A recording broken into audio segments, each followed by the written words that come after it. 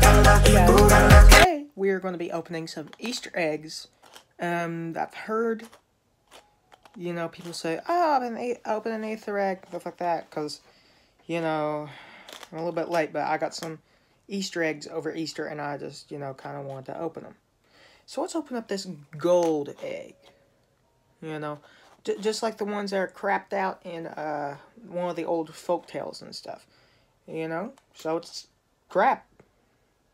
Wonder if there's actual crap in it. Let's see. There's actual crap in it. Yoshi's Island for the 3DS. Let's talk about that.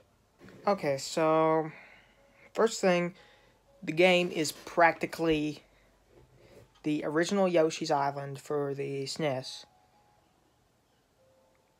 but kind of looks worse. Cause I don't like the design that they used. Cause it just makes it look so bland. It, it has a, uh, it's almost like a texture that, you know, the 3DS isn't the best for graphics or anything, you know.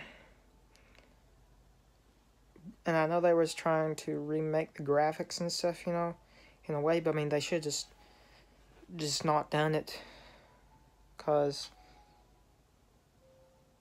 it's the original one, but with a little bit better graphics. That's really it. I can't say much more about it. The first episode in this is going to be like two minutes long. Ugh. So I guess this is a review of Yoshi's New Island. I love the original, but I think they ruined it on the 3DS. Just like they're going to do with Luigi's Mansion. It looks worse than the GameCube version.